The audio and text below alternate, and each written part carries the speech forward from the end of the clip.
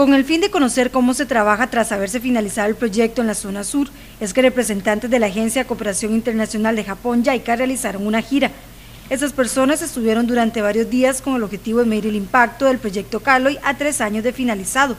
La intención del proyecto era fortalecer el sistema de apoyo para la participación social de las personas con discapacidad mediante la rehabilitación integral y el desarrollo inclusivo en las comunidades de la región Brunca, este se desarrolló del 2007 al 2012. Como estamos realizando una post-evaluación interna de Proyecto Caroye para medir los impactos que han tenido de Proyecto Caroye y autosostenibilidad de las actividades desarrolladas dentro de ese Proyecto Caroye después de finalizar el eh, proyecto, que cómo han evolucionado y también estamos eh, eh, colaborando con Proyecto Morfo de promoción de vida independiente de personas con discapacidad. También este proyecto nació a través de actividades Proyecto Caroye. Los representantes de YAICA consideran que se realizaron cambios importantes que aún se mantienen, como por ejemplo la sensibilización. Aunque ha terminado eh, hace tres años Proyecto Caroye, pero las actividades se han eh, desarrollado y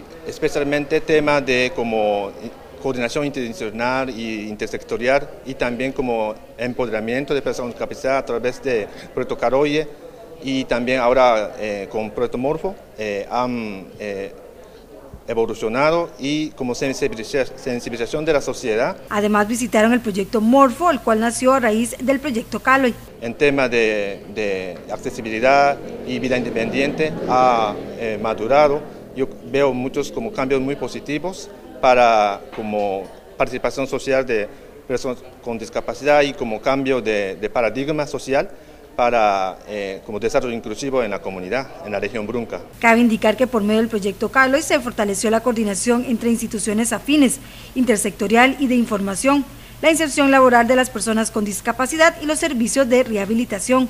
Se donaron equipos para la rehabilitación por un total aproximado de 86.296 dólares y se realizaron 66 jornadas de capacitación en diversas áreas y 22 personas viajaron a Japón a recibir cursos de capacitación y a otras 30 a cursos en tercer país.